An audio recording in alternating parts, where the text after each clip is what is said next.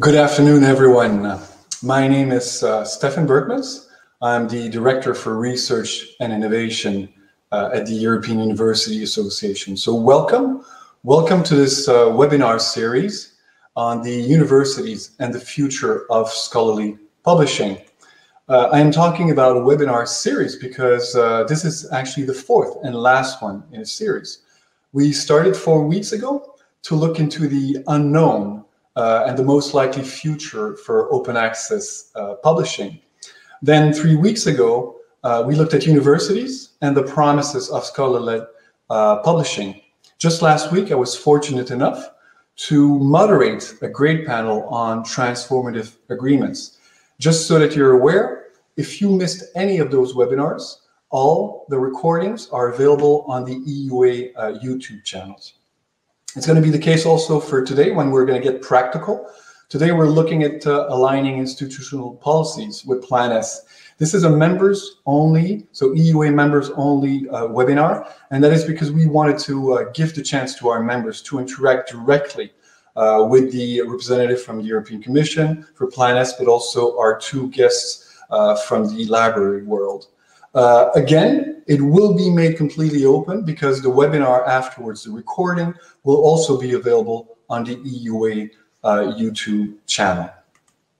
So let me start. So open and transparent practices does accelerate research process at really a, an amazing speed. And I think the pandemic has shown us that quite clearly. But also they reinforce the core academic values such as research integrity, uh, cooperation, uh, and knowledge sharing, for example. EUA has really, in this area, become became a leading voice in the debate on open access, and we've been active uh, and actively engaged, actually, in this area since uh, 2007. Uh, in July 2020, EUA actually launched its strategic plan. So it had four priorities and the association's work on open access in scholarly publishing serves those specific priorities. More specifically, uh, EUA uh, on the effective advocacy, we advocate for full and immediate open access to ambitious open access policies at different levels. We also support universities and authors in retaining their rights and being able to openly share their research outputs without restrictions. And finally, EUA works to achieve more transparency and greater sustainability in the scholarly publishing system together with its members. Uh, this is just to show you actually on, on, on, the left in March 2008 is when we published the very first publication from EUA on open access. And these were recommendations from the EUA working group on open access for the university leaders, for the national rectors conferences, and for EUA also. On the right, what you're seeing is back from May of this year, the latest actually publication from EUA. It was a joint uh, statement uh, with CESAER and Science Europe, where we were calling on all publishers to fully respect research, researchers' rights and to end the use of restrictions and embargoes.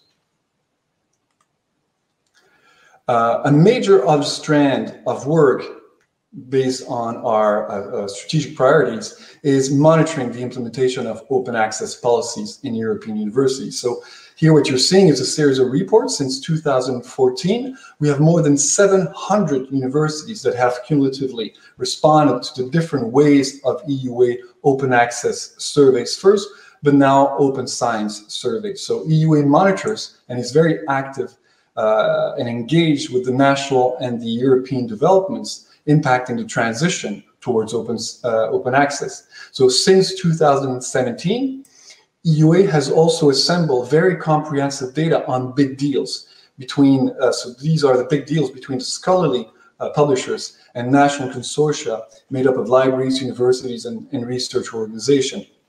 And really, this is to monitor the evolution of negotiations mechanism between universities and publishers. So very naturally, uh, finally, in uh, July 2020, uh, we published also the Read and Publish study, the last report you, you see here. As we all know, uh, a successful transition to open science requires a cultural change, but also it needs systemic and technical reforms. So this requires a very concerted uh, effort from all key stakeholders. So, and we uh, support with this uh, European universities really to improve researchers' engagement in, in open access, but also to highlight the importance of implementing monitoring mechanisms of open access. Solidarity is also a fundamental value at EUA, and that's why we believe it is important to build capacity and support European universities do the best they can and be the best that they can be. Uh, but this needs to be very inclusive. So we want to make sure that uh, we don't leave anyone behind. And that's why we have, for example, at EUA, uh, the platform for uh, negotiating uh, consortia. Uh, let's now go to the very new data uh, that EUA has not yet published because on the 8th of July, we will release the results of the latest survey on open science. So I'm very happy and very glad. Now I'm going to actually share with you uh, in exclusivity some of these uh, results. For example, this figure that you see now represents the uh, distribution of responses for both the importance uh, level and the implementation level uh, for some selected open science elements. So open access to research publication comes first, both for strategic importance and level of implementation. So we're talking here about 90% of respondents of the responding institutions assign a high or very high level of importance and over 60% assign a high or very high level of implementation to this area. This is in comparison, for example, to RDM or FAIR data that you see here, which are actually high level of importance, but lower level of implementation. Or worse, for example, when you look at uh, citizen science or open evaluation that have a low level of importance, but also, of course, a low level of implementation. Here in this next figure, what you see is that 54% of the surveyed institution have an open science policy in place. So we investigated specifically uh, those uh, open access elements that are included in this policy. And what you're seeing is that here on top, this depositing research article in a repository was the most frequent action mandated or encouraged in open science policies with almost 100% of cases. There's also publishing articles in open access journals here um, at the bottom. Uh, was primarily used as an encouragement element with 75% of institution.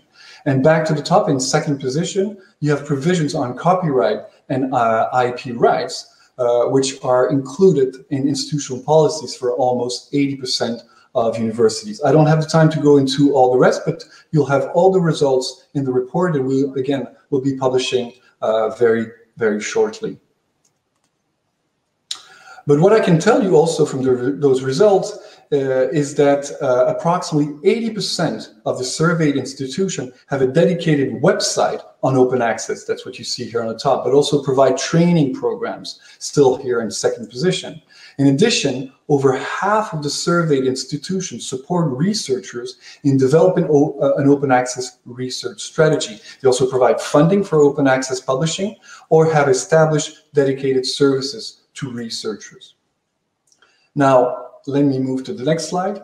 And going back now to the previous EUA open access survey, we saw that most institutions consider that researchers' main concern about self-archiving publication uh, in a repository were first about publishers' copyright infringement, and that was about 52%.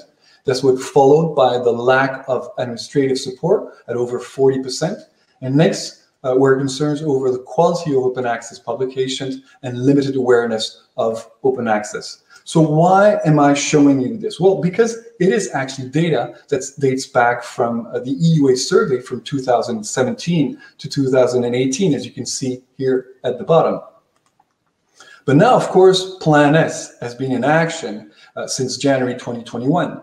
And Plan S is a crucial piece for the uh, transition to open access by the stakeholders uh, in the uh, academic uh, community. And uh, EUA is one of the first supporters of Plan S and provided constructive input on the plan itself uh, and uh, its condition. You can see here three publications. Uh, the two first are back from 2000, sorry, the first one is from 2018, and the two next one actually were back from 2019. And going back now to our survey to be published soon, uh, the results show that a significant majority of institutions, we're talking here 68%, uh, in countries where the main research funders have adopted Plan S are indeed preparing for its implementation, and only 17% or not. So that's the figure on, on the left. What you're seeing now on the right is actually on the other hand, in countries whose main research funders have not yet adopted Plan S, only 24% of institutions are preparing for its implementation, whereas 51% are not. Uh, and just to give you uh, examples, because of the two speakers we have, one from Ireland, one from Slovenia, um, in those countries, both actually uh, are where the, these two countries are where uh, main funders here uh, have adopted Plan S. And so they are in the case, and we're going to ask those, uh, those participants, those panelists, if it is the case in their country. So it is also important uh, in the you know in light of uh, who's coming to speak to you today to remember that uh, uh the uh, Horizon, that Horizon Europe grantees will also have to comply with Plan S, and we have some of uh, someone, of course, from the European Commission to come in and tell us about that. So I'll stop here for now. I'll thank you for your attention. We will take questions later because we've got a great panel. we have Johan Rooryck, who is actually coming, speaking and representing Coalition S. We have uh, Alea Lopez de San Roman, who will be representing uh, DG Research, the European Commission. She is from the uh, Open Science Unit.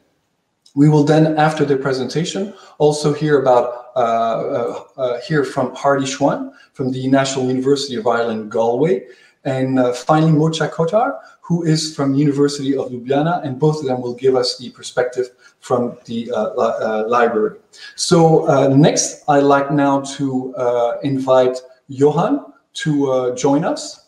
Johan Rooryck is the executive director of Coalition S, a group of over 20 national research funding organizations, supported by the European Commission also. Uh, and um, Coalition S puts, uh, is the one who put, of course, forward Plan S. Uh, and their aim is to make full and immediate open access to research publication a reality. Johan is also a linguistics professor at Leiden University and editor-in-chief of the FAIR Open Access journal, Glossa. Johan, thank you very much for joining us, and the floor is yours. Well, thank you for inviting me, Stephane. So I I will be talking about uh, the Plan S rights retention strategy in, in this context. Um, uh, first, about the principle that is behind the rights retention uh, strategy, perhaps. a rights retention strategy is based on a very simple principle, namely that the peer-reviewed author-accepted manuscript, the AAM, is the intellectual creation of the author and belongs to them. That's, that's the idea. Uh, we believe that delivering publication services does not entitle publisher to ownership of that AAM. Um, uh, publication services, of course, should be paid for, but not with ownership of the AAM. We believe that that is really a very old-fashioned concept that publishers should own uh, should own uh, uh the uh, the publication in and of itself without share without giving the author ownership of it. Uh, this is also important, I think, as a matter of uh, intellectual ownership rights and assets of universities. Funders and universities should make sure that researchers are not deprived of essential in intellectual ownership rights. We've also seen in uh, uh the case of Sci-Hub, for instance, how important publishers uh, believe that um, um, ownership of publications is and what they are worth and they're, if they're worth that much to the publishers, they're certainly worth as much to the institutions and the, the authors, we believe. Um, now, what are the objectives of the rights retention strategy? Well, as you know, uh, organizations uh, want to have all the research they fund uh, published uh, open access with zero embargo and with a CC BY license. That's sort of our minimum minimum goal. Uh, this allows our authors to seek publications in a wide variety of journals, especially journals that have no open access options and then are still subscription journals. Uh, and we also want, by uh, uh, by this strategy, encourage the development of transformative arrangements by which uh, publishers can properly ask for the payment of, of publication services. We see no problem uh, with that, paying for these uh, services. Uh, the idea really is to empower all researchers working under a coalition S mandate to retain sufficient rights to their own author-accepted manuscript.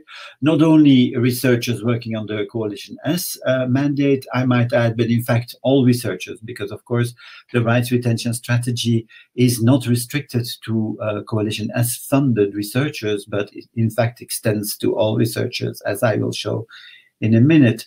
Um, we also want, uh, one of the other objectives of the rights retention strategy is to make things simpler, namely cut through the current complexity of journal permissions.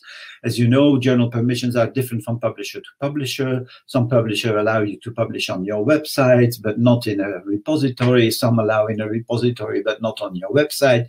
Uh, when authors own the AAM and share it in a repository on publication, all that complexity is, is gone. There are no embargoes on the AAM, and the publishers can own the VOR. We don't see a problem with, with the publishers owning the version of record of the, of the publication. I'll come back to that as well. Uh, so what's the problem that we seek to resolve? Well, as you know, uh, the grant agreements of coalition S organizations now have, have as this minimum requirement that at least the AAM should be in a repository with zero, zero embargo and with a CC BY license. Uh, this is for this is the very minimum for some funders. It's it's broader. The version of record should also be in a in a repository, but at the very this is our minimum requirement. Um, at the same time, we know that many researchers, of course, sign a publishing agreement, and that publishing agreement signs away their rights to deposit the AAM in a repository with zero embargo and with a CC BY license because there is a copyright transfer agreement that uh, regulates this. And so there is a contradiction between the researcher's grant agreement on the one hand, which requires that the author publish uh, uh, deposit a copy uh, in a repository on the one hand, and the publishing agreement with the publisher on the other, which forbids the researcher to do that. Um, and the rights retention strategy is in fact designed to resolve that contradiction. The fact that an author assigns a CC BY license to their, uh, to their AAM uh, takes legal precedence over any later copyright transfer agreement over or specifically over the provisions that would be in contradiction in that later copyright agreement and basically overwrites that copyright agreement. And that is because the CC BY is inherent in the publication. Uh, once you assert the, your right on that, it cannot be lifted by any later agreement. So the rights retention strategy really is a very strong way for authors to assert their rights on uh, the publication. Now, of course, publishers have a right to refuse uh, such uh, claims, and they, they might be uh, willing to uh, re uh, refuse uh, authors to publish in the in, in their journal of choice, but that is that is their choice. Until now, we have only one case of a publisher that has refused this, and it's still in litigation. it's not entirely clear what is happening there. Um, now, there are two ways in which we want to achieve this. Uh, as I said, we want to require uh, sufficient intellectual property rights to be retained and in accordance with the OA obligations. This can be done in two ways, either via prior license, and prior license is basically uh, that the CC BY license on all the publications of the grant has been signed into the grant. So uh, an author agreeing to that contract also agrees that a CC BY license is applied to all the future manuscripts and all the future AAMs that come out of that uh, grant. Uh, that's the prior license uh, method. And the second way of achieving this for some of our uh, coalition S organizations, especially, for instance, Horizon Europe, is to make sure that beneficiaries themselves ensure that the CC BY license is applied to the AAM or the VOR. So there, the obligation is, as it were, on the authors themselves. In, in fact, in both cases, the obligation is on the author because the author still has to in, include in their submissions to the publisher the uh, statement uh, that they will apply a CC BY license to their publications. So what's in it, this for authors? Well, uh, ownership and visibility, I would say. Don't give away to publishers what you uh, what you rightfully own as an as an author, because if you own the AAM, you can reuse it and you can share it. Um, and there are no instruction, there are no restrictions imposed by the publisher. As you know, um, if you have a graph or an illustration or a table in your paper, for instance, uh, until now you had to uh, ask the uh, publisher for permission to reuse that in future publications. With the rights retention strategy and the application of the CC BY, that is no longer necessary. You can reuse everything that is in the AAM as you see fit. Uh, of course, we know that AAM, that open access AAMs and open access publication in general are more visible and therefore more citable. So it's in the interest of researchers to, to use the RS. And of course, as I said before, publisher can own and receive payment for the version of, of record. We don't see problem there. We believe that of course, publishers provide the means to organize peer review, but this is very often carried out for free and it's part of the scholarly discourse.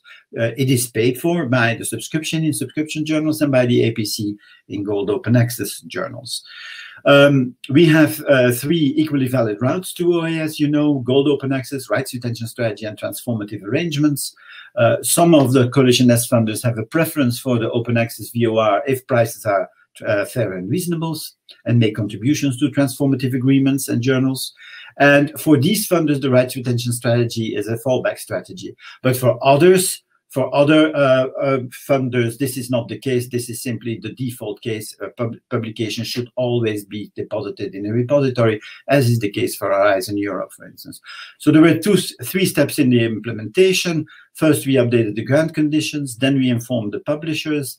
And the, we asked the coalition S grant holders to include details of the public license in their submissions and, and deposit a copy of the AM in a repository on publication.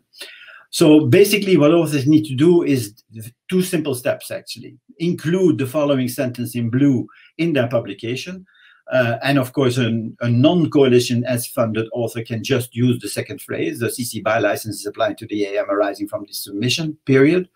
But those who are who receive grants from a, a, a funder of the coalition have to use the full um, the, the, full version. And an on-publication, uh, uh, authors must make the AM open access in, in a repository. Um, authors should also contact their funder or library in case of uh, disagreement uh, or in case of obfuscation by the publisher. We have developed a journal checker tool that allows you to see as a researcher which uh, uh, journal, how your journals uh, comply. Um, so they, basically, this is a search engine that allows you to fill in your journal, the funder, and the institution, and that gives you information about what to do, whether you should pay a gold APC, whether the journal is under a transformative agreement in your jurisdiction, paid for by the library, whether it's a transformative journal, or whether you have to apply the rights retention strategy. Um, and the first iteration of that uh, journal checker tool is available since November 2020. I think I may stop here because we only had 10 minutes, I believe. You're um, right spot if you stop here. So uh, I can talk about uh, the publisher smoke and mirrors perhaps a, at a later stage. Thank you so much, Johan. Thank you, and thanks for sticking to the time. Uh, that will give us ample time afterwards then to have questions coming from the, uh, the audience. Thank you. Uh, next, we're going from Plan S to Plan S being implemented in, uh, in Horizon Europe. And of course, Horizon Europe in this case is much broader than that. So thank you very much, Alea, for joining us. Alea Lopez de San Roman is a policy officer at the European Commission uh, in DG Research Innovation in the unit, unit, as I said, working on open science. So Alea works on the, uh, um, you know, she has contributed and is contributing to the development and the implementation of the EU policy on open access to scientific publications, but also to research data. And before joining the European Commission, Alea was not a stranger to universities because she worked at the League of European Research Universities, LERU. So Alea, the, the floor is yours and you've got 10 minutes. Thank you very much, Stephane. Uh, good afternoon, everyone. It's a pleasure to be here. I'm going to share my screen now.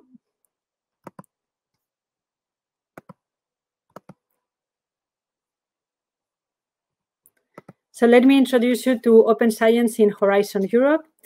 uh, we know that there are many definitions, of course, of open science, but according to the Horizon Europe regulation and the Model Grant Agreement, open science means an approach to the scientific process based on open cooperative work, tools, and diffusing knowledge. And it's also important to highlight how the Horizon Europe regulation sets how the concepts of open science, open innovation, open to the world should ensure excellence and impact of the union's investment in research and innovation while safeguarding the union's interests. So not only impact, but also excellence, the excellence of research and innovation.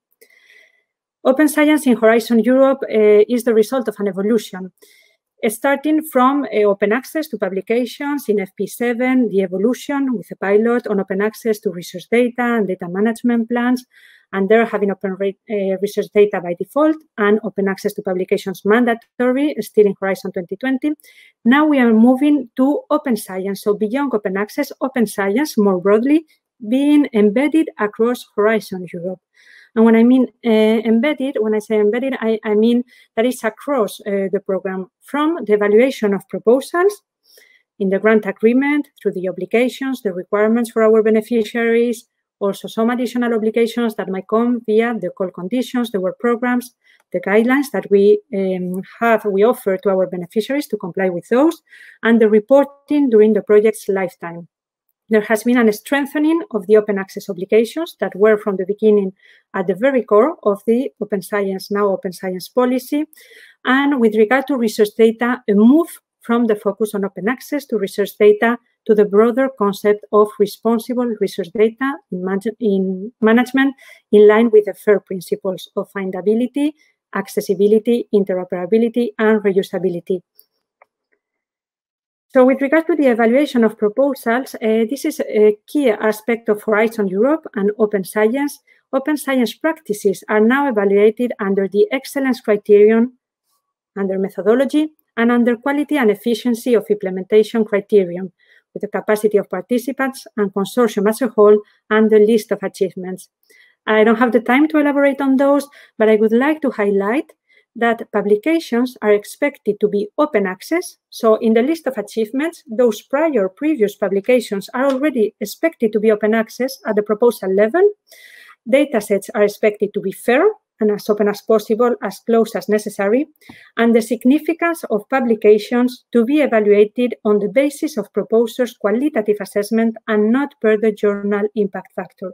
This is, I would say, a big step forward with our role as a funder and the change in the research assessment system in order to promote open science and to take into account open science practices in the evaluation of the proposals and the projects that we then fund. So there are a set of mandatory open science practices, and I will briefly present those per the grant agreement, and then some per the work program and call conditions, and some recommended open science practices, which are recommended, although those are not mandatory. What you can see now in the screen is, of course, a non-exhaustive list. It's a list that is included in the template for proposals, but is non-exclusive. And it includes early and open sharing of research, research output management, measures to ensure reproducibility of research outputs, open access to research outputs through deposition in trusted repositories, participation in open peer review, and involving all relevant knowledge actors. So with regard to the obligations that our beneficiaries have per the grant agreement, as set in the model grant agreement, beneficiaries must ensure open access to peer-reviewed scientific publications relating to the results. In particular, they must ensure, at the latest upon, the uh, upon publication, deposition of the author-accepted manuscript after the peer review, or the version of record in a trusted repository, and immediate open access via the repository under a Creative Commons Attribution License, CC BY or equivalent, and we allow CC BY non-commercial and non-derivatives or the combination of the two for long text formats such as books and monographs.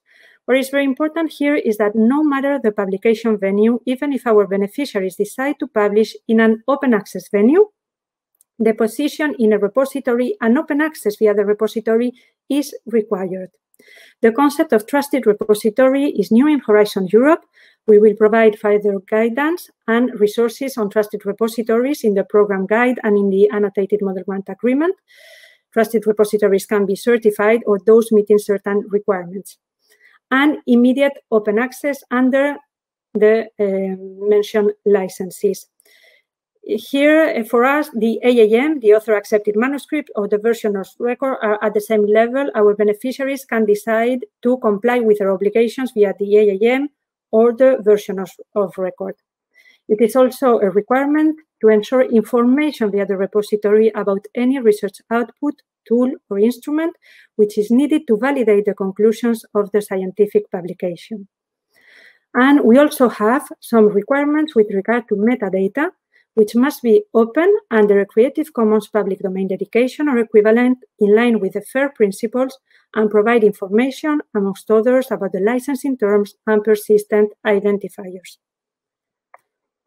Beneficiaries or authors, per the Horizon Europe regulation and per the Horizon Europe Model Grant Agreement, must retain sufficient intellectual property rights to comply with the open access re requirements. They have to ensure the obligations that I just presented and retain sufficient IPR to ensure compliance with this. And they can publish in the venue of their choice, but publication fees are reimbursable only if publishing venue is full open access. Full open access, we understand that this is a venue in which all content is openly accessible to all. So publications in hybrid venues, venues are not reimbursed. Uh, hybrid venues are those in which some content is openly accessible to all and some content is only accessible to subscribers, for example. But uh, let me emphasize that our beneficiaries can publish in the venue of their choice. With regard to hybrid uh, venues, is a, a, question of reimbursability, non-reimbursability of the publication fees in those specific venues. So as you can see, our provisions uh, and requirements with regard to open science to scientific publications are very much aligned with uh. Horizon Europe beneficiaries will have to comply with our requirements, and those requirements are aligned with Plan S. With regard to research data management, I will not elaborate uh, in depth, just to point out what I mentioned before. So the evolution towards the broader concept of uh, research data management and responsible, responsible uh, research data management in line with the FAIR principles. Now it becomes mandatory to set and regularly update a DMP, a data management plan. Open access to research data still um, abides by the principle as open as possible, as closed as necessary, allowing for exceptions to the openness of research data such as data protection, confidentiality, legitimate interest of the beneficiaries, a set of exceptions that we have in the Horizon Europe regulation, and we require deposition and open access via the repository following the principle as open as possible, as close as necessary. And again, the same requirement as we had for publications, information is required via the repository about any tool, instrument, research output that is needed to reuse or validate the data. Metadata must be open and in line with the FAIR principles, but here, and it's a difference with regard to the metadata of publications, here we allow for exceptions according to the legitimate interest or constraints of the beneficiaries. We have a set of additional open science practices also via the Model Grant Agreement, additional open science obligations that can come via the work program, additional obligations regarding the validation of scientific publications, and additional open science obligations in case of a public emergency. So our action with regard to Horizon Europe is our role as a funder, but as you know, the European Commission plays many different roles also in the policy making level and open science is also an important part of the ERA communication, a new era for research and innovation. And here I would like to highlight two aspects and just to focus on these two because they are very much linked to the discussion we're having this afternoon and is the platform of peer review open access publishing and the analysis of authors' rights. So with regard to Open Research Europe, just to mention that this is a publishing platform the European Commission's publishing platform at the disposal of our beneficiaries. It is not a repository. It's for original articles for all scientific areas of Horizon 2020 and Horizon Europe, and to provide immediate open access with content license for reuse. open peer review, transparent peer review, and each article has a dedicated metrics uh, page. No impact factor for ORE, for the Open Research Europe publishing platform. We don't want an impact factor. We want article level metrics and research to be evaluated and to take, be taken into consideration per its intrinsic merit and not per the venue of publication. Main assets of ORE for our beneficiaries, high quality, reliable and efficient publishing venue for EU research, no cost to authors beneficiaries. They can also publish their post-grant. It's fully aligned, of course, with our requirements, and it's absolutely not an obligation to use. And you're, I mean, I'm going to have to ask you to, to uh, finish very soon. Just to conclude, copyright is also a key area of action for us uh, just to say that copyright is traditionally associated with protection, but it's also important for dissemination. And just to point out our actions in the ERA communication, copyright directive, and the database directive, which is currently going to be reviewed very soon, and encourage you to provide your input. That's it. Thank you very much, Alea. And uh, before we go to our two next uh, panelists, actually, what we wanted to do. And I'd like to insist, I see that questions are starting to arrive. So this is really for, for you uh, members to ask as many questions as you want. So we've got questions coming. So please don't hesitate to start asking them uh, already in the Q&A. My colleague Vinciane is actually tracking that and we'll make sure that we'll ask. Uh, for now, I just would like to go uh, and to move to the, the EUA, the new EUA um, uh, University Open Access checklist. So back in two, uh, 2015, uh, as a reminder, EUA published actually the open access checklist. And this was really to serve as a general uh, guide uh, to key matters that should be considered when uh, institutions plan to develop an open access policy. and this was specifically for research publication. So it covered strategic, but also practical and economic aspects in the development of uh, an open access policy. Of course, the landscape uh, has changed quite dramatically uh, since then, and we felt, you know, that a new checklist was well due. Uh, so this was this is to provide uh, renewed su support to our members and universities uh, in general. So let me first insist, and I insist very strongly, you see it written in red there, this is far from being a final document. Uh, it is a working document. That's why today's webinar is also important for us because we hope to get uh, a lot of your feedback. The document uh, will uh, then be revised and discussed with the EUA expert group in Science 2.0 and Open Science. And we plan to publish it uh, in the autumn. Uh, the new checklist is currently organized, as you can see here on the slide, in three broad categories. Uh, the first one is empower. So this is about high level policy uh, strategy. The next one, as you can see in the middle, is uh, build capacity. So this is about libraries and consortium. And the last one is about reinforce uh, existing uh, structures. So we're talking about academic community um, infrastructures in this case, of course. So what we have also for those three categories is that for each we have an approach uh, you see that with the, uh, uh, the, the, the, target there. But we also provide the checklist with a rationale that is, you know, really underlying why, why this approach is there. Uh, we also bring in the strength and opportunities and looking towards the future, the things actually to uh, be careful about, the things to watch. Uh, you can see here on the first one for Empower, there are uh, four different approaches. The first one is to add open access requirements to career uh, assessment policies, a line of work, of course, at the EUA. The second is to adopt a policy that includes a rights retention statement, as was uh, talked about, about uh, uh, by uh, Johan. But it's also the third element, assign funding for article processing fees. So centralized and streamlined APC reporting. And finally, the fourth one is advocate policy change by governments and funders. The second category, the build capacities, with, uh, that's for libraries and consortium. Here are the approaches, three elements. First one, enter into a transformative agreement with a large publisher. Second, enter uh, into a transformative agreement with smaller or um, society publisher. And the third one is to enter into a publishing agreement with a pure open access publisher. And the third and final category is here to reinforce existing structure and as I was say, saying, academic community driven infrastructure. Three approaches here. First, support non-commercial scholar-led publishing initiatives, time and away. Support, support non-commercial infrastructure for scholarly communication. And finally, develop and use an institutional or shared open access repository.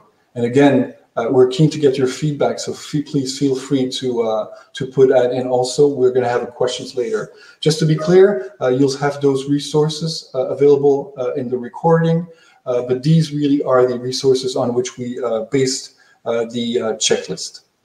So now what I'd like to do is we'd like to have a little poll to be able to actually first understand who you are, who's attending uh, today's webinar, but then also to get your feedback actually. So I'd like to ask you to go to menti.com.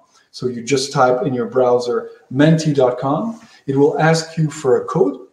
Uh, just type in 6354 1026. That's 6354 1026. And you're going to see the uh, poll appearing there. Just a second, it's coming. So I remind you, the code is 6354 1026. 6354 1026. And uh, should be appearing very soon. The very first question that we're putting to you. There you go. So you have already seen probably that on your website. So we'd like to know what your role is actually, who you are. Are you a university leader? Are you a director? Uh, or head of research support? Are you actually directors or heads of libraries? Are we talking uh, here to research support staff, library support staff, or researchers, scholars? Okay, it's spread out, but obviously library support staff and research support staff are the majority, but it's good to know we've got also other representative here. i am going to wait a little longer because I know that they are more than 27 participants. Yes, please, good. And I see this is stabilizing now. So I think we're going to be able to move to the next one. Thank you very much. So a lot of library support staff and research support staff. So our first question after asking you who you are is, is there a need for a new open access checklist for universities? So three, four already saying yes, uh, go ahead. So far, strong support. Someone doesn't know. Good. So, so far it's good. Seems that people are appreciating that. Okay. Excellent. So obviously a few people are not sure, but overall, the vast majority think that yes, indeed, there is a need for a new open access checklist for universities. Wonderful. Thanks for your support. And the next question is, what I like, we'd like to have from you is general feedback. So really what is needed, what is missing, what is okay in this checklist. So uh, we'll leave the question open for now because of course we couldn't go in the full details. We didn't have the time. Uh, but of course, uh, we would like to get your input. So we'll leave this question open anyway. So you're welcome to put in um, you know, all the information you want in there. And please, otherwise, feel free to, to be in touch with us if you have uh, specific uh, input uh, and feedback for us. Wonderful, thank you. So now that we've done those polls, let's go back then to our wonderful panel. Uh, it is now time for me to hand over to uh, Hardy Schwamm. Hardy serves as uh, open uh, scholarship librarian at the library at the, uh, of the National University of Ireland, Galway, uh, and this is since 2019. In his position, Hardy aims to push uh, the open science and open scholarship agenda at NUI Galway and to build an open scholarship community at the university and beyond. In his previous position, Hardy worked at the Lancaster University Library in the UK as research and scholarly communication manager. So Hardy, thank you so much for being with us today. And uh, the floor is yours. Thank you, Stephane. So, um, hi everyone. Um, I will talk to you briefly on some practical issues that we have encountered dealing with Plan S at the National University Ireland Galway. But first of uh, those of you who might not know, Galway is in the very west of Ireland. And NUI Galway, my institution, is a mid-sized, uh, research-intense institution that has an output of about two and a half thousand publications per year. And as Stephane mentioned in the introduction, the Irish National Fund, Funder Science Foundation Ireland is a Coalition S member and has updated uh, policies aligned with Plan S. Now, we benefit from a number of transformative agreements negotiated by uh, the National Consortium, IREL, but that is a fairly recent development. Um, apart from a deal with Elsevier that we had in Ireland from the beginning of 2020, all the other agreements, which include uh, include most big publishers, um, they have gone uh, live this spring, um, so very uh, recently. Ireland is now in the rankings of transformative agreements in the top 10 countries worldwide, and 70% of journals where Irish authors publish are now covered by transformative agreements. So, what have we learned from this experience so far that you should take notice of? Um, I have three points I want to make. So, point one is resources needed to deal with transformative agreements. Um, it is important to be aware of that when uh, whenever an author of your institution requests an APC being covered by an agreement, the library has to approve it. So in most cases, you do that through a dashboard that is provided by the publisher. So each of the bigger publishers um, uh, have developed a dashboard, but they are all uh, slightly different. So what happens is that you will get an email notifications indicating that there is a new request to be approved. And then you need to check if the author is eligible. So in short, there is a workflow to be managed, and often you need to communicate with authors and publishers as well. And I would guess that managing our transformative agreements takes about a day, maybe a day and a half of someone's time per week. So this is on top of all the other commitments that your staff has. And, and the question is, have you planned for that? My second point is communication. So you researchers need to know that these agreements are in place and how they work. Now, how do they find out? Um, so we had about seven or eight significant new agreements transformative agreements going live this spring, but all at slightly different times. So do you publicize each one or do you wait and announce a few in a joint communication? Now we send uh, four communications out this spring through different channels, but as you will know, it is very difficult to get the attention of busy researchers and you need to repeat your message. Another point to consider is that agreements differ from each other. So some exclude certain journals, some cover only hybrid journals, and most are capped to a maximum number of included free APCs. Now, how do you communicate these nuances?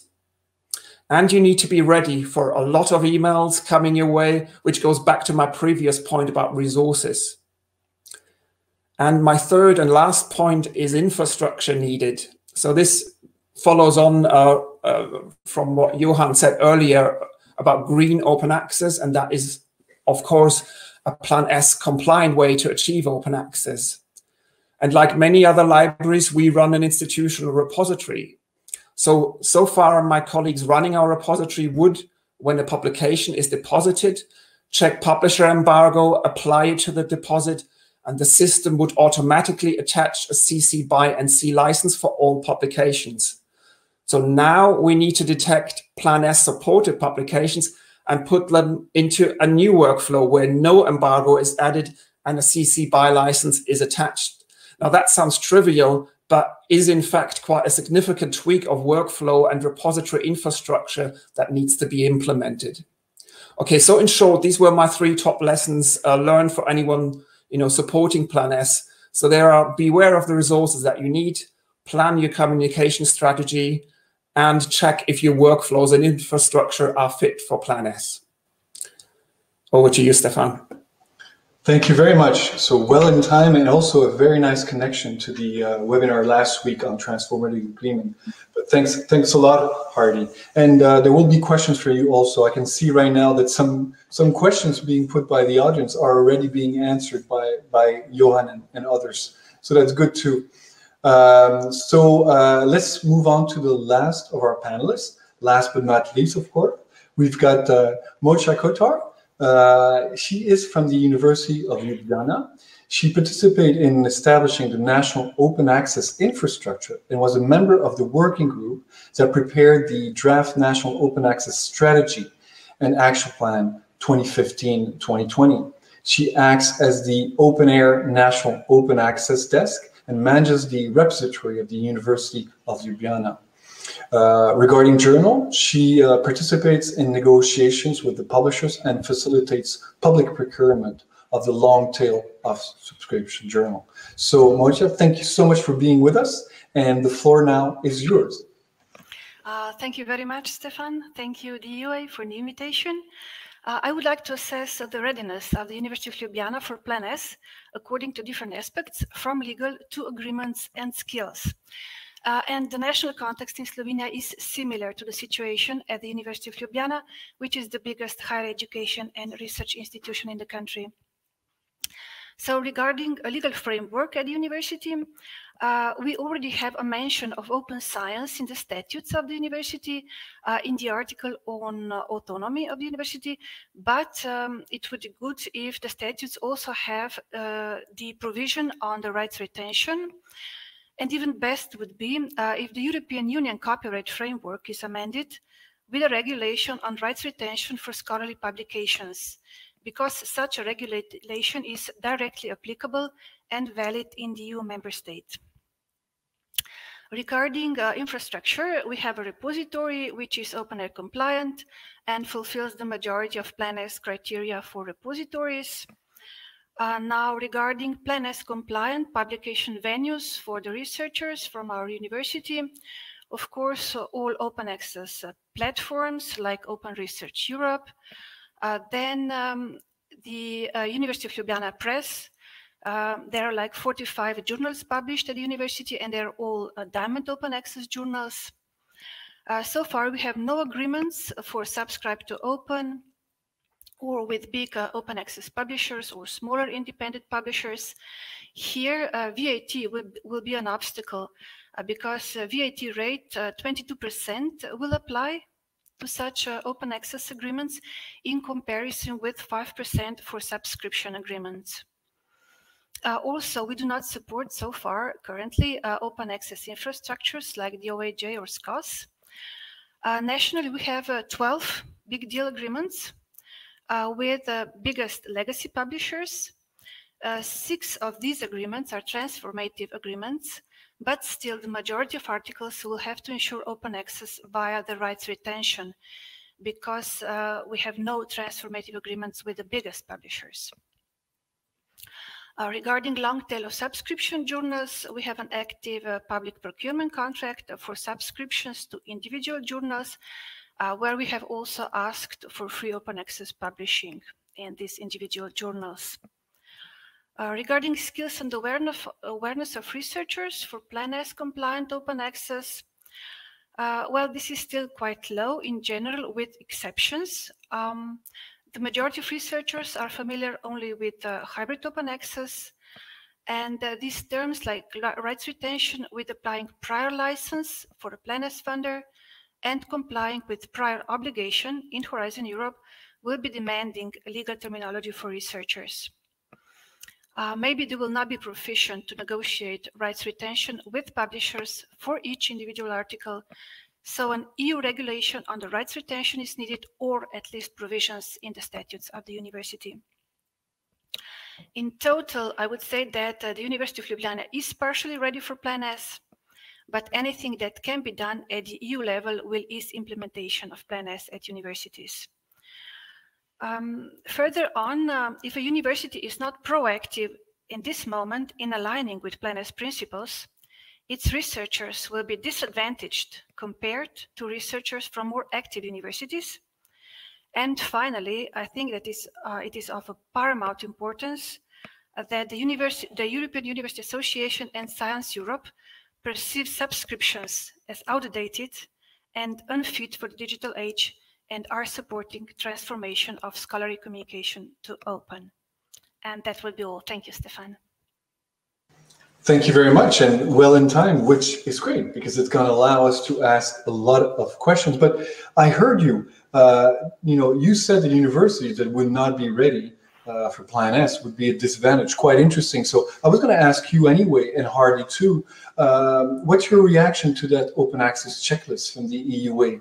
Uh, do you think this is worth it? Uh, is it along the line of what you think is needed? I, I think both your universities are quite well prepared but is it that you know uh, you think this is needed for you or more broadly and by the way uh, johan alea you're welcome to come back uh, with your camera you can join us we're going to have loads of questions for for you also coming from the audience so Mojca first okay. Uh, the checklist yeah thank you very much um, I'm very grateful for drafting the new version of the checklist. I think it's very useful, concise, uh, to present to university management. When you implement single actions, you need details anyway, and you check you get the details elsewhere. And if a university implements what is listed there, it's well, okay, it's quite well prepared already. So very welcome. Okay, great. Hardy, what do you think? Yeah, I also think it can be useful. Um, I can see myself in uh, upcoming meetings with uh, senior management in the research office and beyond, kind of pulling that out and kind of showing it to them. Um, I find, well, is it a? I mean, this might be terminology, but I'm not sure it's actually a checklist. If I, you know, if people just look at uh, uh the first slide, I don't know if, if, they still have it in front of them. Um, empower which is really useful. That might be the, the, the ones, the part I would use most. But the first approach that you mentioned is add open access requirements to career assessment policies. Now, that in itself is a very big uh, chunk of work. Um, and it's not like this is like a, a, recipe where you say, you know, first slice the onions and then add the garlic, you know, where step by step, check, check. This is these are big big steps. And i think uh, we just need to use it in the sense that these this is a, a, good way forward but there needs to be a lot of more granular steps in between. Well okay so yes so instead of checklists, maybe we should talk about a strategy an open access strategy for, yeah. for universities i get your point good good to know uh, great let's let's let's move on because we've got tons of questions actually coming from the uh, uh, the audience. And I see that you, Johan, couldn't uh, take it. You had to answer many of those, so that's great, wonderful. We can we can do more stuff. But I still have one here from uh, Cal Brady, very specific. If an author does sign a publishing agreement that includes restrictive green open access terms, like you know a 12 month, month embargo, does the RRS basically make those specific parts of the publishing agreement null and void? Um, it, it depends actually. We um, it depends what the status is of that um, uh, of that contract. If that contract is a separate contract that is not a part of the copyright transfer agreement, then we advise the authors not not to sign that not to sign that contract, because what we have noticed is that publishers are trying to get around the um, uh, the rights retention strategy by uh, forcing authors to sign a separate contract that is not a copyright transfer agreement, but that is a contract that they will respect an embargo. And of course, a contract to respect an embargo is likely in contradiction with the rights retention strategy and with the grant agreement that the author has signed. Um, but it gets a bit complicated. Very likely, if this became before a judge the author would be in the right. I mean, because we know, of course, that the publisher who is asking the author to sign that agreement, that, that contract, knew about the prior license and the prior obligation inherent in the grant agreement because we informed them last year. So they knew about it. So the, the legal standing of the of the publisher would be would not be very strong.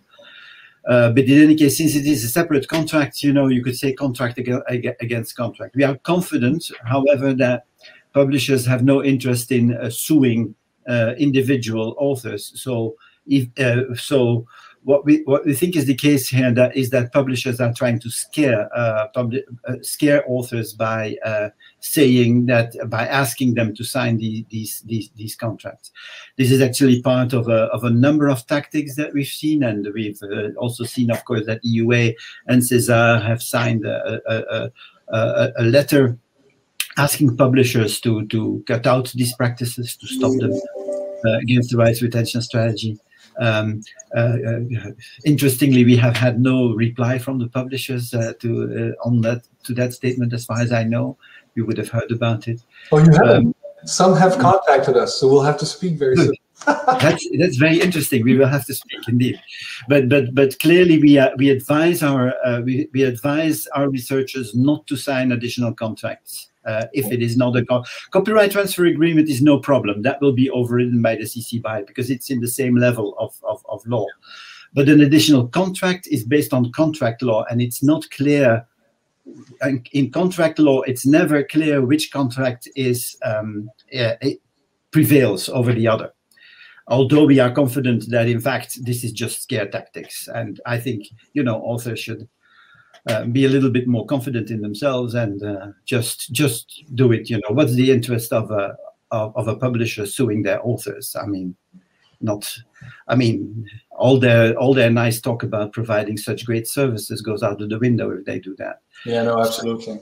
Uh, let me continue with you, but really opening it up to others because there are some very practical questions, and still, and that's why I want to follow up from uh, Thomas Borg here on still the uh, RRS, they're asking beyond publication, he's asking, uh, can it be used for research data? And he's even asking actually EUA, uh, does the EUA consider research data as the intellectual property of the data uh, creators? Here I'd say, and I'm not an expert, so I'm, I'm quite keen to hear you guys on this, but that uh, the intellectual property rights uh, of all kinds of research outputs, including data, are actually safeguarded uh, with the use of CC BY licenses, even data sets, uh, that, uh, and even the ones that are shared openly and fairly, actually.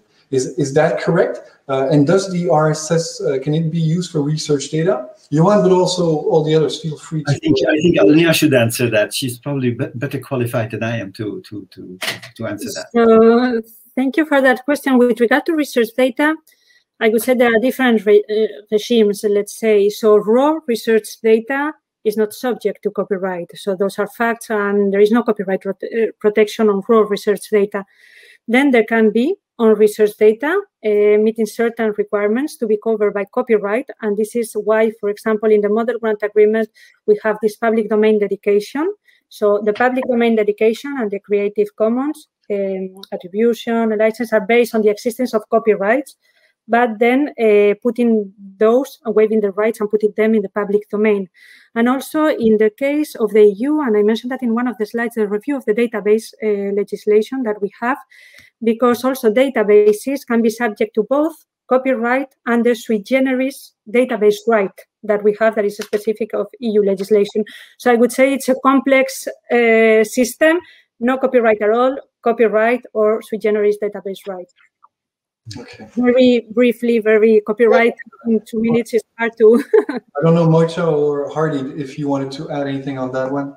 No, okay. But let's stay. With, let's stay maybe with you then, uh, Alea, because there's quite a few questions also there for you. But from Inge uh, van Nieuwerburgh from our uh, actually uh, expert group, uh, can you elaborate on the evaluation of open science at the proposal stage and during the project? Uh, and the other question she has more specifically, uh, have the annotated model grant agreement been uh, released yet? So specifically, is it out already? And then more on the evaluation of open science. How are you going to do that when you evaluate those proposals? Yeah, so hi, Inge. Um, the annotated model grant agreement, I have to admit that when I saw your question, I quickly checked our website because I'm expecting it to be available anytime soon, not meaning today, because, you know, sometimes we expect things to be published anytime soon and then it takes a little bit of delay. But I would say the annotated model grant agreement will be published uh, very soon, but I just checked and it's not published yet.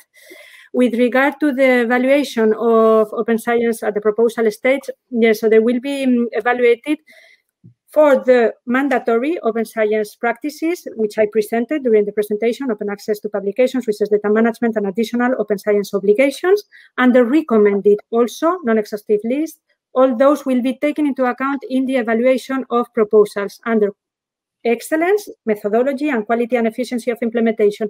It's also important to say that open science practices, if they are duly justified as not being appropriate for the project, duly justified, the score will not be lower in those proposals. And also, I have to mention that the ERC does not include open science in the evaluation of proposals, and the EIC, some uh, parts of it include this evaluation under impact and not under excellence. For more information about how we are going to evaluate and more guidance for proposers, the program guide, which also will be published hopefully very soon, and which is um, a program guide with guidance and resources with a focus on proposers. So at that stage, at the proposal preparation. Thanks. And unfortunately for you, you mentioned the ERC, so I cannot help it. the Scientific Council uh, of the ERC actually decided to withdraw as a supporter of Coalition S uh, and announced in July 2020 that they would, you know, follow a path towards open access implementation that's independent from Coalition S activities. So do you, Alea, or you, Johan, and yes, I will come to you, Mojca, and Hardy after, but I really wanted to ask that one. Do you have any reaction to that? And uh, have you been in touch with the Scientific Council of the ERC to discuss this?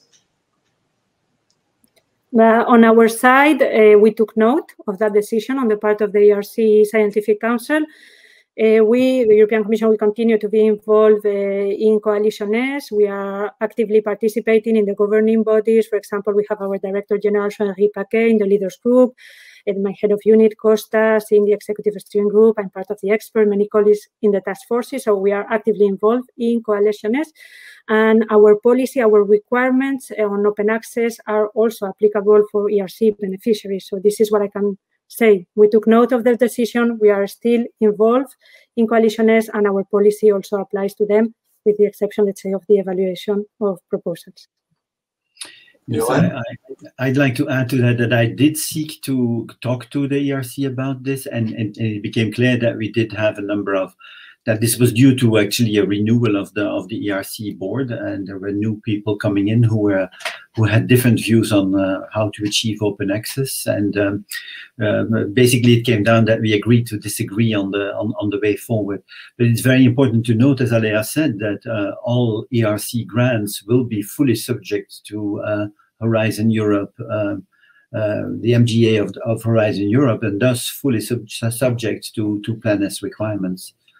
So the, the, the statement, I think, or the, the, the withdrawal is uh, more symbolic than it is than it has consequences in, in, in reality for uh, uh, ERC grant holders. ERC grant holders will be fully subject to the MGA and uh, Coalition S provisions and Plan S provisions inherent in that. Okay, thanks. Thanks for your answers. Uh, Mojca, we're talking politics here. Uh, and we know that the uh, Slovenian presidency is coming for the uh, the EU. So, uh, you know, a high level question, but is there any advantage to take out of this for open access specifically? Uh, do you know if they're they're they they have anything uh, planned? They have anything planned around open access and open science? Yes, thank you. Since you announced this question in advance, I found the ministry. uh, and um, yeah, they told me Thanks that uh, it will not be uh, specifically open access, but it will be uh, like new council conclusions on uh, ERA governance. Uh, and since this will be like drafting, Slovenia will be um, coordinating drafting of these new conclusions. Uh, and since this will be built on the ERA Council conclusions that were adopted during the German presidency, it is very likely that uh, open science will be included and changing the research assessment. But the topics uh, will still be decided, uh, I was told, by uh, member states, EU mem the EU member states. So there's no precise um, sketch yet available or knowledge. Thank you. And, and Hardy and, and Mojca, I mean, I want to know, so we talked about the retentions rights statement, and it all seems very easy to do. As you said, Hardy, you know, it's a checklist, but it's not really a checklist. So is it that easy, actually? So the way you know Johan you know puts it, and I seem to agree with him. It seems so simple, you know, to to do it. So is it that easy? And where do you see challenges, if there are any? Hardy, uh, first, maybe. Well, unfortunately, I have to say it's not that easy. I think um, well, if you have Johan explaining it to you in in slow uh, steps and with the confidence he has, it, it sounds pretty easy. Um, but I, from my own experience, so I do uh, training events on uh, open access, and I had a recent one in trans for transformative agreements, and there is, uh, I think that it's very new, and the concept of uh, basically the um, the rights retention strategy trumping anything that the publisher does afterwards. I think that's the step that is new, and that's the step that people only are starting to get their heads round. Yeah. It's also, I hope that's correct, Johan. Um, that is correct, but you you should feel free to to invite me, Hardy. I'll be glad. I will do. Thank you. The, the second thing is that um, because um, transformative agreements, as I mentioned before, in Ireland, there have been a lot in a small period of time. Pretty much all we're talking about is transformative agreements at the moment, how they work, etc. And as I mentioned before, 70% of journals are now covered in Ireland, which is very good. And that's the good news story. And I think then coming in with the rights retention as a kind of a fallback plan is not quite the good news story that the transformative agreements are. So it's a little bit more difficult on that communication side to present both in one. Um, so yeah, that would be my my take on it. Thank you, Mojca. Yeah, thank you. If I take a bit wider perspective, so uh, we need to ensure conditions for researchers to comply with Plan S. It can be either transformative uh, agreement uh, or rights retention strategy. So if we don't have a transformative agreement with a certain publisher, then it's the rights retention strategy. Okay, uh, I would say that technically this is not difficult. Uh, the researcher adds a certain text to the manuscript and sends everything to the publisher. But it seems to me that uh, researchers fear rejection of publishers, uh, which um, are perceived as, as, as, bringing value in their career advancement. Mm-hmm. This, I think that this is the major fear. It's not technically difficult. I think that even we don't need a special copyright help desk here at the university, if I can understand this, and um, mm-hmm. researchers that are really very smart people. And it's not even uh, time consuming the only thing is that if you really want to publish somewhere uh, and the publisher says, no, no, or yeah, is um, like uh, doing things that Johan is telling us about, the smoke and so on, things. Yeah. Yeah. Well, but it's just in, uh, for now. It's just intimidation. It's not. I mean, they are not rejecting the papers at the outset, and that's what they have to do. No, I mean, there is actually a question from Linda Jonsson on this. Can and she yeah. says exactly. Can you please tell us about the publisher Smoke and Mirrors? There wasn't time for earlier. Okay. So can you tell us more about that? Since yeah, shall I share my screen again? Do I have a few minutes? Uh, yeah, why not? Okay. Let me share my screen again. Now. Oh, so that was yeah, yeah. Those were the, uh, the, the slides. Yeah, I have, those, I have those slides anyway. So let me let me see yeah, yeah. if I do that. I think that's very practical, so it would be interesting indeed. Go ahead. Uh, and while you do that, there's a comment here also uh, from someone saying that readers not always realize they may be paying for something that could uh, be uh, free, actually. Some search yeah. services uh, have prevalent positions on the internet. Just a comment yeah. from one of the uh, from the audience. Go ahead, please. Yes, so um, what you will typically see from, from publishers is statements like this. This journal does not allow AAMs to be made open access under the RS. If you use RS wording, we will ask you to sign a contract pledging you will respect our embargo. Or choosing the green route means the work is under an embargo that is not compatible with our, your funders policy. But in fact, this is all nonsense, actually. It's meant to confuse. Uh, the prior it's very simple. The prior license under the rights retention strategy takes precedence over any conflicting uh, uh, provisions in this funding agreement, and by by by saying to the publisher that you apply an, uh, a CC BY to the to the AAM arising from the submission, you give as an author, an author gives appropriate notice. But if, of course, an author is then going to sign to an embargo uh, period in a different contract, then the researcher may be in breach of their grant conditions. So that's why we advise not to do that. Um, uh, the only choice, I mean, and I repeat this, the only choice that a publisher has at the beginning of the process, the submission process, is to reject the article. That right they have. Once they put the article through the submission process uh, and, and through review, they have taken notice and you have given them notice as a researcher of the rights retention strategy and they have to respect that. So there is not much they can do there. Um, then they say, so publishers will say, you cannot use the rights retention strategy when submitting to this journal. Well, of course you can. I mean, they have no jurisdiction to, to prevent you from doing that. The option, the only option is to refuse the paper, as I said.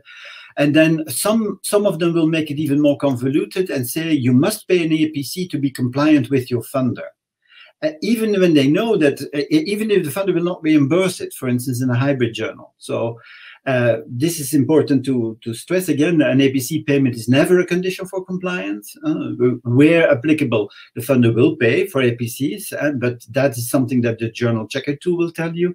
And where it is not the case, where you don't have the money uh, or, or the funder doesn't have the money, then uh, the rights retention strategy suffices. The rights retention strategy really can be used as a fallback strategy. So um, click here to pay for an APC for publication. Well, don't do that because basically, of course, the publisher is then asking you to to uh, enter into a contractual agreement where you pay and then the payment is on you. Uh, uh, this is actually very devious on behalf of the publishers because they know full well that the funder will not pay and nevertheless they are putting pressure on the author to, to, to pay.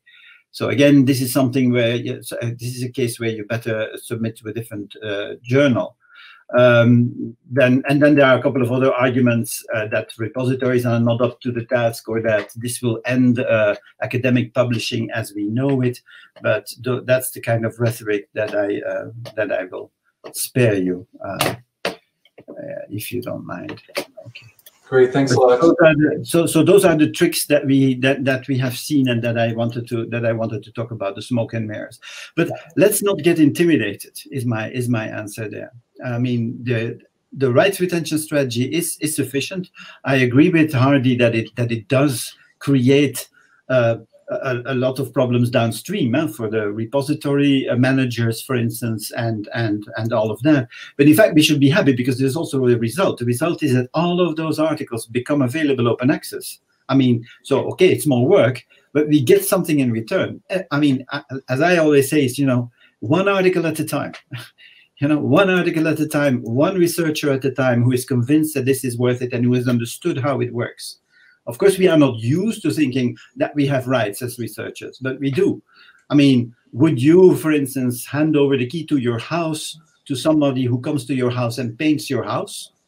Because basically, that's what's happening. That's what publishers do to your paper. They they paint it, they make it nicer, they they they you know they they smoothen out the the, the cracks uh, through the through the um, review process. But then after the painter has painted your house, you're not handing over the keys, are you? I mean, and that's basically what we've become used to over the last 30 years, to hand over the keys. And you could, I mean, and also, excuse me? And also in this case, I think what's really nice is that you could hand over the keys to somebody else, and those are the libraries. Yes, taking, exactly. again, a very important role. So, I mean, again, Mojca Hardy, I mean, do you see that happening? Are, do you, how aware are the researchers? How much do they come to you? Do they actually realize and are they uh, coming to you? Is there awareness around Plan S, around retentions rights, etc.? And you're seeing more questions being asked? Uh, if I may, um, the majority of researchers that are aware are researchers uh, that already had um, European Commission framework program uh, projects and they were already um, exploring, preparing um, to, to, to, to organize another project, another consortium. Uh, and they also understand what this brings, and they also understand the differences between policies in Horizon 2020 and Horizon Europe. Uh, they are uncertain still how they will comply. Uh, I think that rights retention could be uh, problematic for them in a sense that it would take more of their engagement. It's not difficult to understand, I think, but um, they are busy people and they don't really want to spend too much time on um, like uh, administrative burden, which might be there. That that's how they perceive it. Uh, but generally, we don't really uh, receive many questions yet, though the national funder, the major funder of research in Slovenia is Plan S funder, but still, um, I think that no calls are published uh, as yet uh, with uh, such provisions, Plan S provisions. Okay, thanks. Hardy? Yeah, maybe just, oh, sorry, Johan, you want to come in? No. Well, Hardy, one of the things that I say to researchers, not to myself, is, is that, and that they understand, is when you reuse a table, a graph, um, an illustration from from your previous papers, now you have to ask for permission, and it's very annoying. It's extremely annoying, and you know that as a researcher that it's annoying. Applying the rights retention strategy gives you the right to reuse that without asking anyone for permission. People find this very difficult to get their uh, to wrap their heads around. I mean, I am the editor of, uh, of Glossa, an open access journal, and I very often get questions from authors saying, could I please reuse my articles? All our articles are CC BY. And I will get these questions saying, could I please reuse my articles? So this is, of course, one of my favorite letters to write to authors saying, you don't have to ask me permission. You have all the permissions. Yeah. And then they are, oh, really? they, they, they can't quite wrap their heads around this. I mean, and this is because it's new, of course, and they've never learned this in school or never had courses about this. They assume that the the default option is that that publishers have these rights. Yeah, it will take it will take a few years, but uh, the phrasing is quite yeah. important. Hardy, you were going to say? Um, yeah, no, I I get several emails a day regarding transformative agreements. Um, you know, questions from researchers but so far I've maybe had one or two on rights retention strategy. So that, that just shows that the awareness is, is pretty low at the moment and transformative agreements are so new and a bit more exciting, to be honest. Um, and also one thing I would say is, is like an unintended side effect from Plan S and transformative agreements is that they are open to everyone. I should say that, you know, from our research, it's about 30% of our papers are Plan S funded, 30%. That means 70% are not. But transformative agreements are open to all our researchers, including so uh, including early career researchers, PhD students who are not funded. So that is really a good news story for us.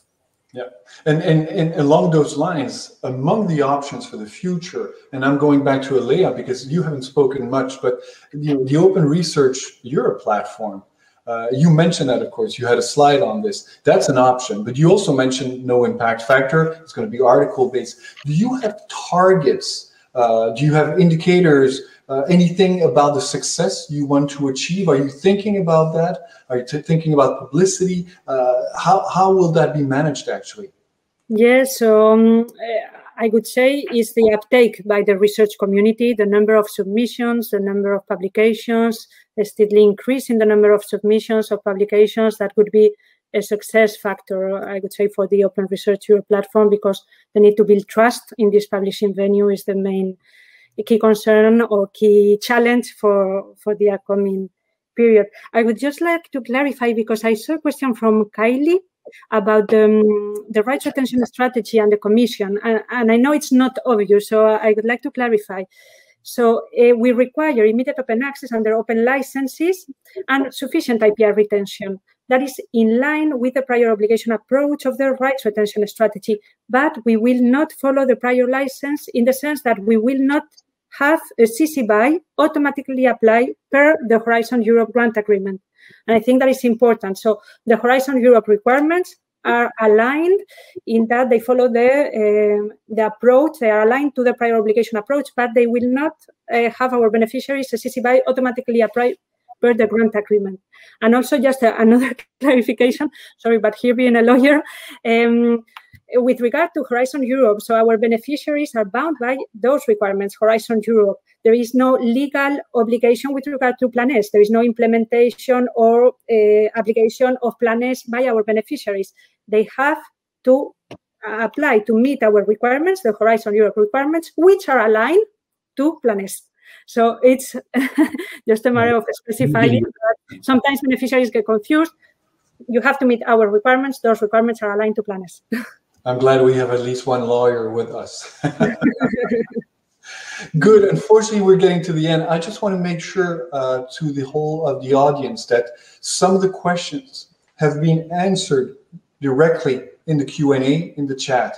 Uh, so please go and check there because, of course, uh, we didn't take all the questions because some had already been uh, answered, as I mentioned by, by Johan. What I'd like to finish with is I'd like to ask you, uh, you, Mojca, and, and Hardy, really, in order to be able to implement the, the, the, changes, I'd like to ask you what is the one thing you would like to see happening? And what is the one thing that you can commit to do uh, at your own level? So you'll have one minute to do that. And to you, Alea and, and Johan, uh, so Coalition S and the European Commission, of course, have been instrumental in pushing open access and really putting it uh, at another level. So there's a huge political momentum right now. But what will be your next move? What is the one thing you guys are planning to do? For example, now you told us about the uh, retention rights, Johan. So what's next? So uh, why don't we start with uh, with Moritza? Okay, thank you. So the one thing uh, I would like is that uh, researchers would recognize that open science is just science done right. There are so many developments uh, in the European research area regarding fair research data management, the European uh, Open Science Cloud. Uh, uh, then um, there are plans for um, increasing uh, high performance uh, computing capabilities, uh, artificial intelligence. Uh, in such an environment, there is really no place anymore for closed um, scholarly communication. Uh, that's one thing. Uh, and of course, bibliodiversity. this needs to be cultivated. And what I can do is really um, raise awareness everywhere I appear. that would be in short. Thank you. Thank you. Thank you very much. Hardy, what about you?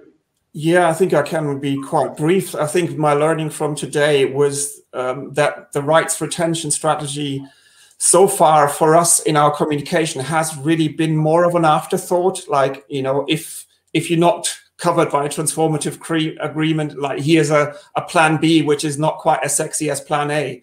But I think what I learned, especially from uh, Johan's example with um, graphs and other material that you know is so easy to reuse. There is a really uh, a good uh, um, good news story here that I would like to push and uh, kind of complement our um, our messaging. So thank you for for that, and also thank you, Johan, for you know the uh, invitation to to get you on a on, on a training session. Uh, that, that that's much appreciated. Thank you.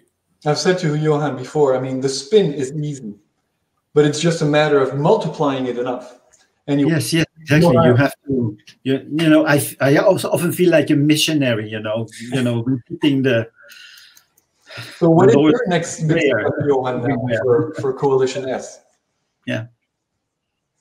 Uh, so should I uh, yeah, answer? Go ahead. Go ahead. Okay. Yes, so so we will keep monitoring, of course, the rights retention strategy because I mean we will we want to hear from our researchers how the how the wording is received by the publishers because we want to be able to talk about that. What our next move is going to be is we are going to work on uh, the price transparency framework, as you know, as of July next year, the uh, pub uh, publishers who wish to receive money from the funders will have to provide a certain amount of price transparency. We are trying to uh, to make that information available, probably not to everyone, but to a selected set of uh, set, a selected set of librarians. So that is something that we're looking into now, what the legal requirements are there. And another thing we would like to do is um, provide uh, more support for Diamond Open Access journals. We've just had the Diamond Open Access Journal uh, study, which was a very rich study showing how varied the open access uh, diamond journal area really is. And uh, we would very much like to uh, I mean, it represents nevertheless, you know, eight to nine percent of publications, you know, in, in open access, as, a, as opposed to, uh, you know, ten to eleven percent of APC-based open access publications. So that's not negligible. If we could develop this um, uh, Diamond Open Access journal. This would be a way, like ORE at the Commission, for the academic community to take back ownership of academic publishing, as I personally think that uh, we, we should do. Okay. And in this, of course, we would be together with universities and other stakeholders to, to move that forward. Thank you, Johan. Alea, last words for you. Well, actually, I'll speak after you, but you're you're next meeting at the at the European Commission. So I would say delivering on everything that we have put in place. Uh, the Horizon Europe uh, Model Grant Agreement, it's a few pages on open science, but it's been the result of years of work, uh, immediate open access, open licenses, non-funding of hybrids. So there is a lot of work in that. So now to implement, to monitor the European Open Science Cloud, citizen engagement, ORE, authors' rights and copyright legislative framework, which is fit for research and innovation. This is key. So I would say, and research assessment, of course, is very key for us. Delivering on all those topics is already a very high, challenging, and very exciting uh, agenda for, for the future. Yes. It is indeed, and we'll work very closely with you on the research indeed. assessment also. Thank you. Almost on time, I'm one minute late. Thank you so much to all of you. Uh, I just want to mention, we'll leave the webinar open for an extra 15 minutes so that uh, that will be with the slide on open access checklist so that everybody then will be able to comment also on that. So that's one thing we'll do. But otherwise, many thanks to all of you, the panelists uh, for having accepted our invitation and, and for really the good discussion today. It was lively. I loved it. It was not just, you know, one after the other. You intervene all the time. That was great. So we hope also this webinar, of course, and the whole webinar was was useful to uh, to the members and to the community at last. At last, uh, at large. Remember, it's all going to be on uh, the EUA YouTube channel for the recordings. Uh, thanks also to the members of the program committee, the EUA expert group uh, Science 2.0 and Open Science, the group of negotiators, and the steering committee of the Read and Publish uh, study. A special thanks, of course, to uh, my colleagues at the EUA Secretariat, in particular Vinciane, Vinciane Gaillard, who was the mastermind behind the whole webinar series, but also uh, Rita Moraes, Aurélie, Aurélie Clénet, and our former colleague, Lennart Stoy. So other EUA webinars uh, and events are coming. You can check those, of course, on our website. You have all the information there. Uh, the one I mentioned, of course, coming 8th of July, is the webinar that will be uh, providing the results from the EUA survey on open science. Uh, that will be uh, from principles really to, to practices. Then in September, we've got the EUA College for Doctoral Education annual meeting, and in November, the European Quality Assurance Forum. Again, thank you to all of you. Thank you very much to the audience for uh, for for attending today, and I'm sure we'll uh, we'll speak again very soon, uh, as this is not a, a, story that is over. Thank you. Okay. Thank you. Thank you. Bye. Bye. All right.